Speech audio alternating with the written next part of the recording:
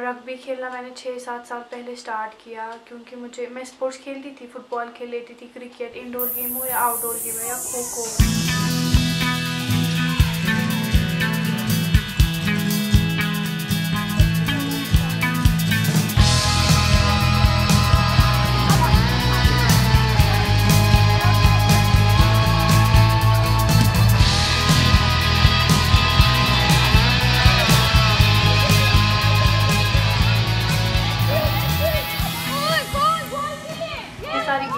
मैं हर एक गेम में टॉप करती थी। जब स्कूल में तब मैं इलेवेंथ में पढ़ती थी, तब मैं स्कूल की कैप्टन होती थी, कोटीबाग स्कूल की। तो एक बार एक वॉल्टियर आए जे के रग्बी एसोसिएशन से तो उन्होंने भेजा था। तो कुछ स्कूल टूर्नामेंट था। मैम ने बोला, तुम पार्टिसिपेट करो। मैंने बोला, मैंने कभी बॉल देखी तक नहीं है। तो मैं क्या गेम खेलूँ? ना मुझे इसके रूल्स पता है ना रेगुलेशंस पता है कैसे खेलनी है। तो फिर मैं उन्होंने सिखा एक दो हफ़्ते तक मैंने सीखा। फिर जब मैंने देखा इसमें कुछ अलग ही पैशन है अलग ही डिफरेंट गेम है इंटरनेशनल स्पोर्ट है ये तो फिर मैंने उसमें पार्टिसिपेट किया। फिर अभी मैं ग्रेजुएशन कर रही थी तो मैंने सोचा कि मैं अब मैं बी में ही कोर्स करूँ तो मैं अब बी कर रही हूँ स्पोर्ट्स में।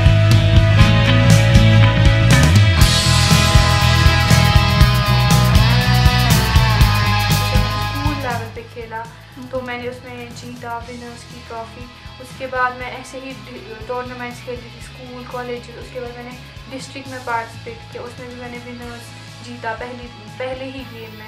उसके बाद मैंने स्टेट खेला, उसमें भी मैंने विनर्स जीता। उसके बाद मुझे नेशनल के लिए सिलेक्शन हो गई। तो उतना घर वालों को सपोर्ट नहीं था मुझे जाने नहीं देते थे, बाहर क्या आ जाएगी लड़की, लड़कों के साथ। तो जब मैंने पापा को मना, उसने छोड़ा नहीं टीम वालों ने किया, हमें इसकी इसकी ज़रूरत है टीम में बहुत अच्छा खेलती है, बहुत अच्छा भागती है। तो पापा ने एलो नहीं किया बोला नहीं फिर मैं नहीं जा पाई उस नेशनल पे। उसके बाद मैंने एक और नेशनल पे मेरी सिलेक्शन हो गई। तो पापा ने नहीं माना फिर मैंने चाचू को बोला प्लीज़ पापा को मनाओ। तो फिर पापा चाचू ने पापा को बोला नहीं आप इसको जाने दो एक बार मौका दे दो इसको। फिर मैं उन दिनों फिर गुजरात नेशनल के लिए चली गई थी। तो जब मैंने वहाँ से जीत के आई मैं विनर्स की ना रनर अप लाया वहाँ से वहाँ से मैंने रनर अप लाया जे एंड के स्टेट के लिए। तो मैं कैप्टन थी।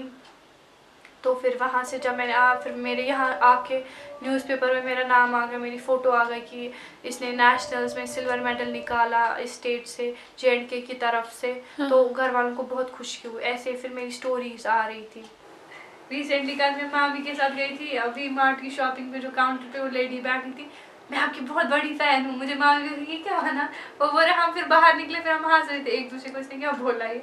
फिर लाल चौक में भी हम थे तो वहाँ पे मैं आपको जानती हूँ मैं आपकी बहुत बड़ी फ़ैन हूँ बस मैं यूनिवर्सिटी गई उसके बाद मुझे कश्मीर मैं आपकी बहुत बड़ी फ़ैन इवेंट पे मुझे ऐसा कुछ मिलने को मिलता है सब जाते रिसेंटली भी वहाँ पे इनको मैंने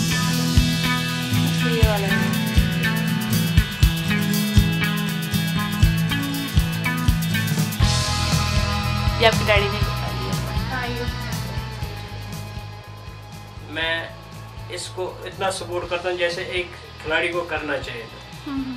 हाँ जो जैसे कोई भी गेम होगी कोई अपना फ़ैन होता है कोई कोई प्लेयर जो होता है उसके हम्म। लिए जितना भी सपोर्ट मैं उससे ज़्यादा इसको करता हूँ हम्म। एक तो ये मेरी बेटी है और दूसरी एक लड़की होने के नाते ये इतनी सख्त टफ गेम है फिर भी मैं इन्हें इसको सपोर्ट किया। चाहे इसने कभी खेला ये इंजरी लेके आई इसके नोज़ में भी एक दफ़ा इंजरी आ गई हम्म। तब भी मैंने इसको सपोर्ट मैंने इसको बोला चलो इसमें ऐसा होना है। मुझे पता है नेगेटिव कमेंट्स भी आएँगे। हम्म। वो मुझे पता वो हुआ भी। हम्म। किसी किसने कुछ भी बोला मुझे पता है क्या लेकिन मैंने उनकी तरफ़ ध्यान नहीं दिया। मैंने उनको इग्नोर किया। जी हाँ।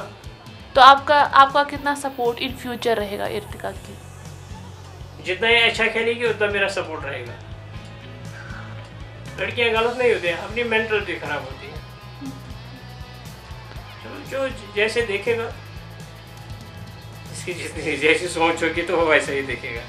उन दिनों रमज़ान का महीना चल रहा था तो हमें नेशनल्स पे जाना था बाहर तो हम राजबाग हिंदू स्टेडियम में ट्रेनिंग में तो कुछ लड़के आए थे कि इनको यहाँ से निकालो, इनको यहाँ से मत खेलो, वो मत करो, इनको मत यहाँ खेला दो। फिर हमें निकाला उस ग्राउंड से, बोला, यहाँ मत खेलो, लड़की हो, कि देखो कैसे माँ बाप ने कैसे, देखो शॉर्ट्स पहन के टी शर्ट लगा के, वो सब कुछ सुनने को मिला।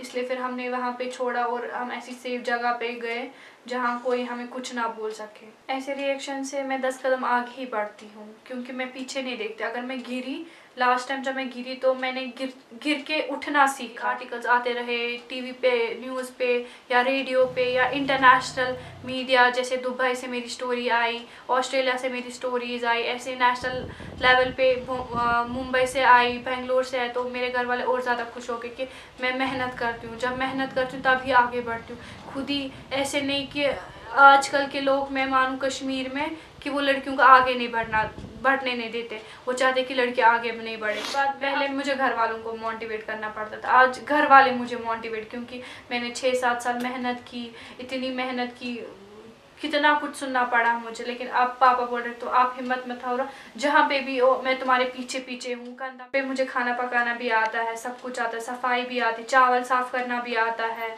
सब कुछ जैसे इन दिनों मेरी मामा बीमार है तो घर का सारा काम मैं ही करती हूँ। सुबह उठ के चाय बनाना या फिर दिन का काम, बाहर का काम भी, कभी प्रैक्टिस भी अपनी।